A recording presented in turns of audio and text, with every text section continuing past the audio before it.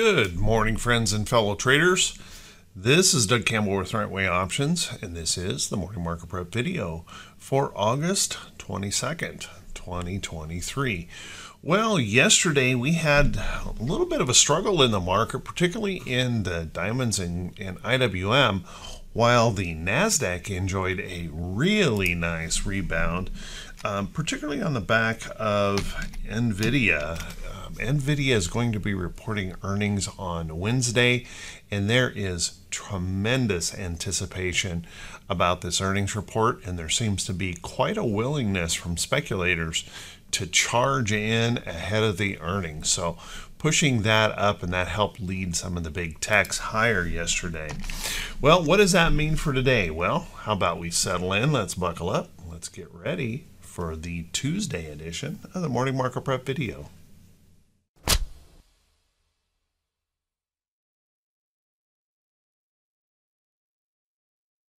Good morning once again, everyone, and thanks so much for being here. I do very much appreciate it. Let's take a look at these charts and see if we can gain a little bit of information about how we may want to approach the market for today. Remember, the purpose of these videos is to remove all bias, to just look at the price action of the charts, to remove all prediction, and then really trying to focus in on what could happen today if the bulls or the bears become inspired. If we take a look here at the diamonds, you can see we're pushing against a substantial level of price resistance in the chart. And although we pushed down yesterday to a new low, we were able to make it back in the afternoon. And you can see here in the pre-market, well, you can barely see it. You can see that little tiny candle sticking up in there. We are trying to show a little bit of bullishness this morning in the futures, trying to push through that level. So watch that area closely if the Bulls can continue to find that inspiration to push, let's take a look. Um, we've got an area of resistance right in here. Let me pull this across. You can see there's those two high points in the chart right there, creating that little bit of area of resistance. If we can push through there, then we start looking at this big old black candle and this big white candle right here, the resistance high of that. And then one more step, we would come up into here. Now let's keep in mind as we try to do that, we've still got a 50 day moving average up here that we need to deal with. And unfortunately that kind of comes into play before we even reach those high points over here on the left side of the chart. So watch that carefully we may still have a little bit of work to do to get up through that 50-day moving average. And then, of course, S&P downgrading some of our banks today certainly does not help that situation. Now, we do also want to keep in mind that we still have a downtrend in play here. Uh, and as we rally back up, that will be in the in the way or in the path of that recovery. If we take a look at our SPY, SPY had a pretty good day yesterday. Notice that we pushed right on through.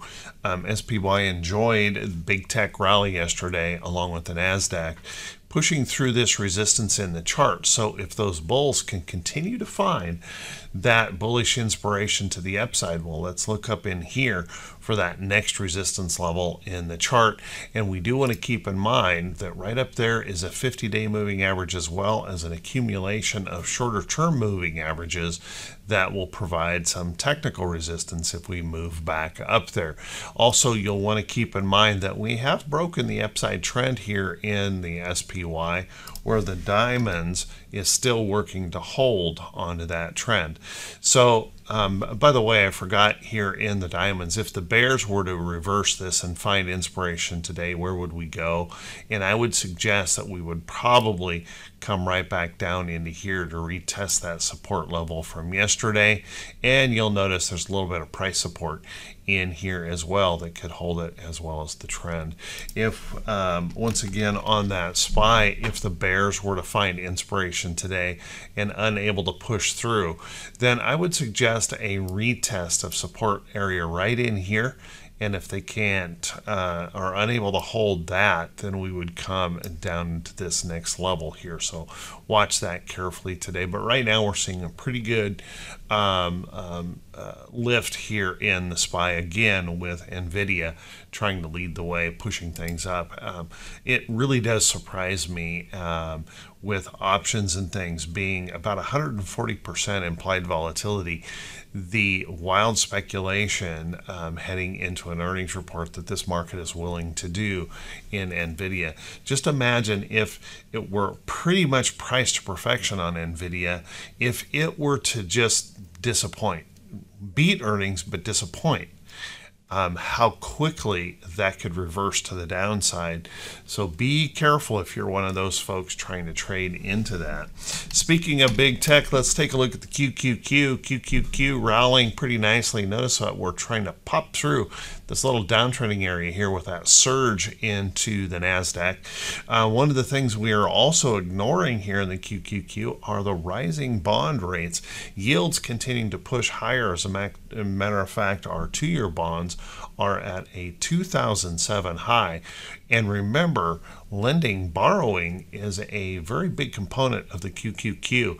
And um, the NASDAQ um, is trying to ignore that at the moment with this rally back. And, and again, big hopes on NVIDIA. So watch that closely. Uh, pushing through that area is very, very important uh, for the NASDAQ in this rebound.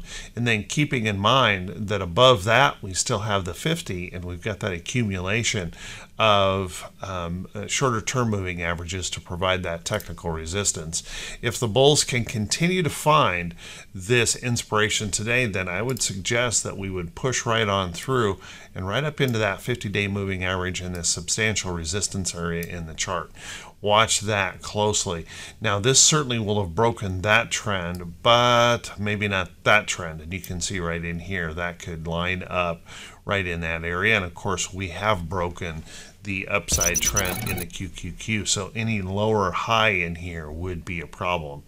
If the uh, bears were to, for some reason, find inspiration today, where would we go? Well, you can see this support right in here. Maybe we push back into here. And if that were to fail, then once again, we're looking at that possibility that we come on back down into that area of the chart. Let's take a look at our IWM. IWM also struggled here yesterday to really gain any traction. If you uh, look in here, we sold off, but we didn't go as low as the Dow making a new low. But you can see we've got a kind of a funky little topping pattern going on here in the chart, which if you um, if we're not able to get going, you could kind of see this building out into here in that possible head and shoulders being formed here in the IWM. But if the bulls can continue to find that inspiration today, then let's look for this opportunity that we could rally back up into here in this resistance. We broke back above this level, which I think is a good sign for a relief rally in IWM, which we are overdue for, by the way.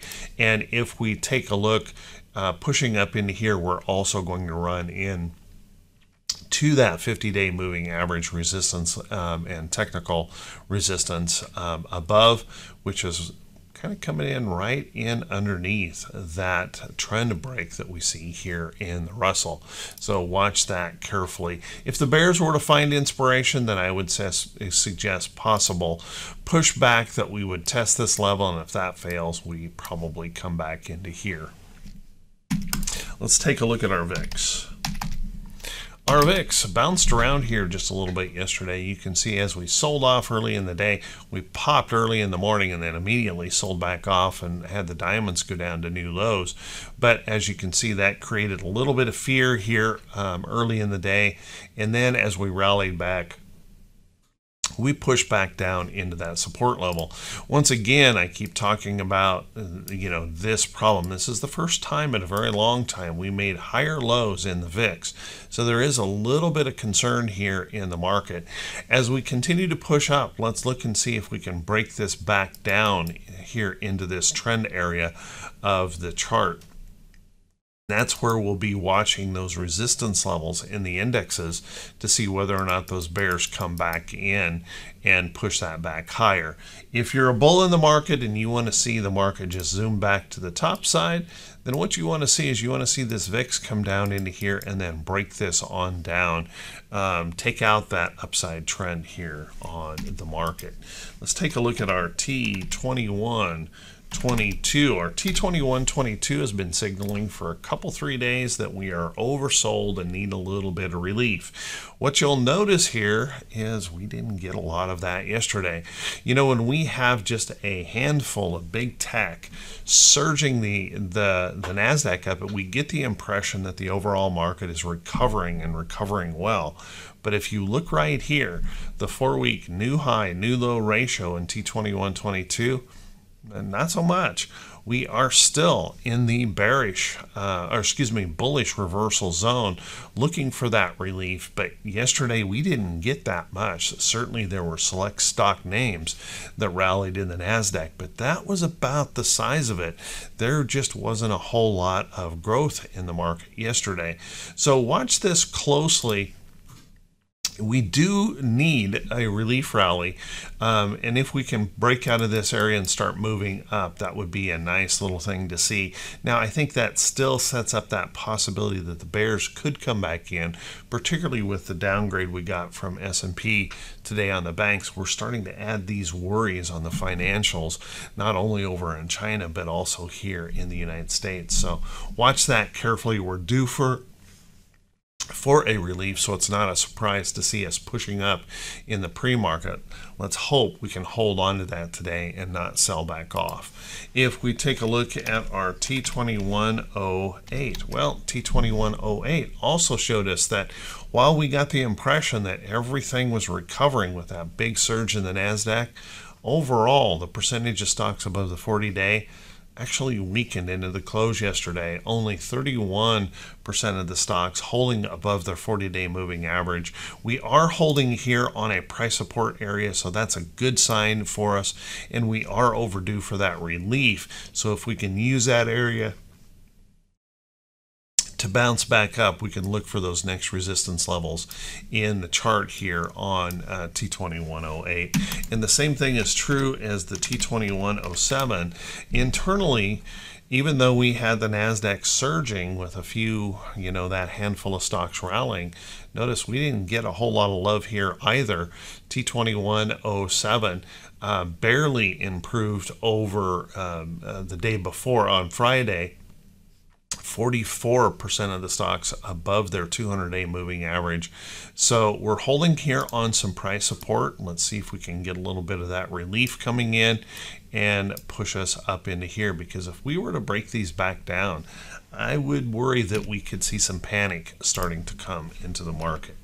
If we take a look at our T2101, this is a good sign for us as we try that relief rally. You'll notice in here that the breadth continues to push to the upside. Now, unfortunately, there was so much selling in the market yesterday. I'm not sure that we could say this is an increasing breadth on the buy wave but we'll want to watch that closely. If we can surge today, maybe we could say, hey, the bulls are strong enough here. They're surging in that breadth to the upside. We'll want to watch this little downtrend area, although trends aren't really that big a thing here in the breadth chart. We'll want to watch this area up here to see if we can break that through and get a little bit more enthusiasm going in the market. Let's take a look at our economic calendar for today. Our economic calendar is telling us that we've got, um, well, just a little bit of of uh, data to be concerned about. We've got some Fed speak here today that we'll want to be watching. Of course, we've got existing home sales coming in here 10 a.m. Eastern, and then the Richmond Fed as well. Richmond Fed is expected to come in again at a negative number, but just a little tiny improvement over last time from the consensus. However, if you remember the Empire State Manufacturing number, they were suggesting a little improvement, although a negative, and it missed huge. So we are now nine months in uh, um, our manufacturing sector in decline. So we'll want to watch that pretty closely. We've been able to ignore that um, here in the market uh, for a long, long time, surging back up, although our manufacturing is struggling hard. Keep a close eye on that. We've got some bond announcements and money supply here today, which probably won't make any difference for us. And then as we look into Wednesday, mortgage applications, PMI flash, new home sales, petroleum status, two year bond auction, which right now is at a 2007 high pushing those rates higher, and I think probably continuing to weigh heavily on those uh, those banks. Uh, because it's causing an awful lot of pressure in there, making it difficult uh, for them to loan at all, um, and making it uh, difficult for the consumers to continue to spend. Let's take a look at um, our earnings calendar for today. Now, our earnings calendar, we've got a little bit more going on than we did yesterday, which is a good thing. Maybe provide some inspiration here on the market. We're going to hear from BJ. Um, we've got a lot of um, kind of a retail theme going on here uh, today but uh, BJ's wholesale um, gapping down this morning, popping back up in the pre-market, trying to get some bullishness going there. Um, SCIQ will be. See if I can type the right symbol. SCIQ. Huh. I I might have transposed a number or a letter here. Um, I'm going to have to check that one, guys. Give me, um, I'll repair that on the um, blog this morning before I send it out. Let's take a look at um, Coty. Coty um, reporting today, feeling just a little bit of bearishness. We've got uh, DKS. Um, looking pretty ugly here this morning, and gapping substantially lower on its report. Uh, big rejection of this resistance chart in Dick's Sporting Goods. We've got the um, La-Z-Boy that we'll be reporting today. We have heard from Lowe's. Um, they're trying to push higher despite a little bit of a miss in um, some of their numbers, but trying to push higher. Uh, Macy's um, also trying to pop higher this morning earlier, but now seeing a little bit of a pushback after their report here today, so keep an eye on that. We've got MDT reporting today. A little bit of pop and drop going on there as well. Later on this afternoon, we're going to hear from Toll Brothers. And then, of course, we've got Urban Outfitters reporting today as well. Um, not much going on in there just yet, waiting for that report. Let's take a look at some stocks that could be setting up for today. But before we do that, guys, if this is the first time you've seen these videos, if you could do me that favor, and please click that subscribe button on YouTube and then also click the bell icon when it pops up so you'll be notified every time I post a video. And if you find these videos to be useful or helpful, if you could do me that favor, and that would be click those thumbs up buttons, leave a brief comment. That helps the channel to continue to grow. I just want to say thank you so much for everyone who does take the time to do that. And just that reminder that even an emoji um, counts as um, engagement with the video. So thank you very, very much. I do try to answer um, those comments. It, it is that important to me. So thank you for everyone who does take the time. Let's take a look at some of these stocks setting up. And remember, guys, these are not recommendations to buy or sell any security. You're going to have to do your own due diligence. Be very, very careful in this market because the volatility is likely going to remain high with um, uh, worries about our banks, worries about bonds, worries worries about what's going on in China. Just look for that volatility to stay relatively high. Let's take a look here. TLRY. I placed an alert on TLRY. It pulled back yesterday, and what I'm honestly hoping is that this will tighten up this consolidation pattern. This is just a preliminary alert up here to uh, catch it if it were to move. I'm not saying I would even buy it there. Um, and this would be, um, although I trade a lot of options, this would be a straight up stock trade. Um, anything in this range. There's just no point in really messing around with the options. But if this were to rest in here and tighten up this consolidation for a period of time, that's what I'd like to see holding in here on that price support. And then I'd be looking for that next opportunity to the upside in TLRY. Remember, Tilray had the deal with Anheuser-Busch buying eight of their big brand names um, as uh, Anheuser-Busch tries to unload and recover uh, from their uh, major marketing um, um, backlash going on here. And um, this is a big windfall for Tilray, so watch that close. If we take a look at um, the commodity um, area, I mentioned CCJ yesterday, and my goodness, um, it really took off, broke the alert, pushing to the upside, trying to extend here today, and you can still see um, the benefits of, of, following along in this sector when you take a look at URA, another uranium play, pushing up through here, trying to break out. Um, UU also stretching to the upside, breaking through some resistance in the chart, and trying to stretch on higher. So keep an eye on that, which is kind of a um, unique thing to be seeing happening with the dollar showing this much strength after breaking through resistance in here. What we want to do on the US dollar now is start watching this area. If we rest up in here, we could certainly continue to see that dollar go up, particularly as our bond yields continue to stretch to the upside.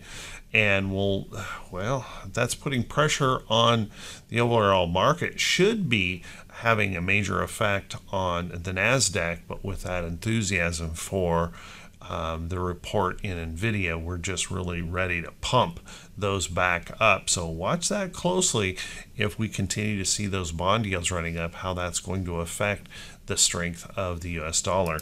Take a look at energy in here. Um, yesterday we had a pretty good surge up in energy and then it kind of faded um, just a bit by the close, but you'll see in oil sector stocks, this is a beautiful little pattern in here. Rallied strongly, broke through resistance. We're holding that area in here. I would watch for that next opportunity that ConocoPhillips could maybe pop through and move up. Now, we do have to worry about the fact that rising gas prices could easily affect um, our inflationary rate. Um, you know, we're about 60% higher in gas prices since the beginning of the pandemic. Um, that's putting a lot of pressure on the consumer out there, so watch that closely. Let's take a look at some other stocks. APA also setting up in a pattern. You can see I alerted that up here as we consolidate out to trend, looking for that next opportunity for that to push through to the upside. If we take a look at some other places um, in the market, uh, take a look at DKNG. Now, DKNG rallying back up here on this relief rally, but I got to tell you, as we rally back into these resistance levels in the chart, I would be watching DKNG for that next opportunity that it could falter and sell off. Now, this is a pretty good support area, but we have to start watching for some of these um, short trades right now as well, um, breaking trends and looking um, not so hot here in DKNG. If we take a look at other places like um, um, some of the airlines, uh, DAL, uh, pushing down, definitely in a downtrend here. We're seeing that pressure on the consumer showing up in some of these consumer related stocks. Any rally back sets up um, a potential downtrend. Take a look at on the same theme of travel. Take a look at CCL. These high flyers are now finding a little bit of resistance coming into play. Any rally back into those downtrends would set up more shorting opportunities in CCL. So watch that closely. And we can even go eh, um, even into big tech and see the same thing. We've been moving in these downtrends here in the chart, this rally back up rally back up into these resistance levels. If we cannot push through there or hold a higher low, then I would see that possibility that we could continue to drift lower, particularly if our rates continue to push higher here in the market. Let's take a look at Kohl's. Kohl's had a pretty good day yesterday, pushing up um, breaking through um, a, an alert here that I had in the chart and pushing through. Now we've got this little a lot of retail going on today, and we're getting a lot of pops and drops. We're kind of seeing the same thing here on Kohl's, but breaking through up in here. If this can rest up in this area, then I would watch for that next opportunity that this could uh, resume that uptrend to the upside. Take a look at. Um, the gap stores. Gap stores also potentially setting up in here. Nice little resting pattern in that chart looking for that next upside opportunity there.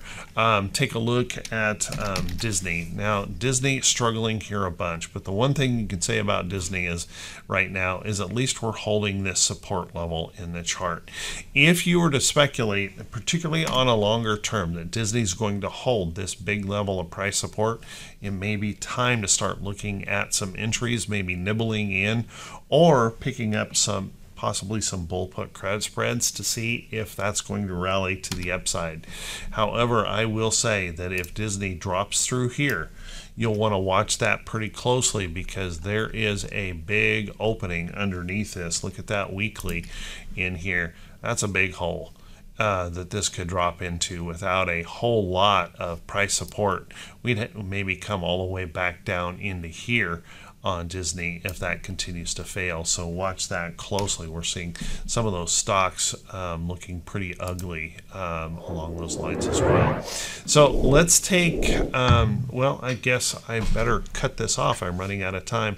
I want to wish you guys all a fantastic day. Thank you so much for being here. I do truly appreciate it. I want to wish you all kinds of success in your trading today.